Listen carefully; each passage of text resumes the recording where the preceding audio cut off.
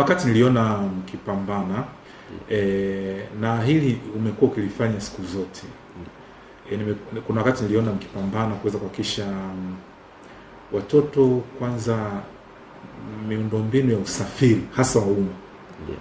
pia inakuwa rafiki kwa watoto yeah. e, kwenye bodaboda, kwenye daladala na hata katika vyombo vingine vya usafiri. yeah. Ni kwa kiwango gani mmefanikiwa katika kuihamasisha jamii kuzingatia hiyo? Asante. Kwenye hilo kimsingi, kama unamsema tulikuwa tuna tunafanya na upande wa jamii, lakini pia tulikuwa Mm, tunafanya na mm, upande wa serikali kama watunga sheria, watunga sera.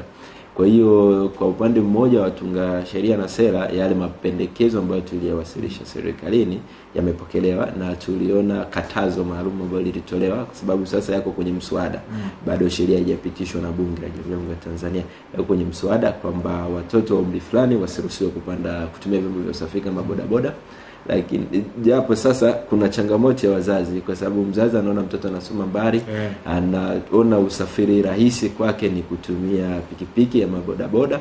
Kwa hiyo hiyo ime bado imebaki kuwa ni changamoto. Kwa hiyo tunaendelea kuelimisha na kuhamasisha, na mwezi uh, mwezi Septemba mwezi wa tisa tuliona moja ya picha ambayo ilisambaa mtandaoni kutokea mkoa wa Arusha ambayo ilimuonesha bodaboda moja akiwa na watoto zaidi ya watatu Mm. kwenye bodaboda yake. Mkuu wa mkoa akawa amelitolea ufafanuzi na akawa ameweka katazo juu ya hilo. Kwa hiyo elimu bado inaendelea kutolewa na jamii inapokea taratibu kama unavyofahamu na nilivyosema, e, wazazi wanabadilika siku hadi siku.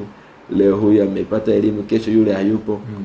E, kwa hiyo kumekuwa na changamoto za hapa na pale, lakini hatuwezi kulikatia tamaa.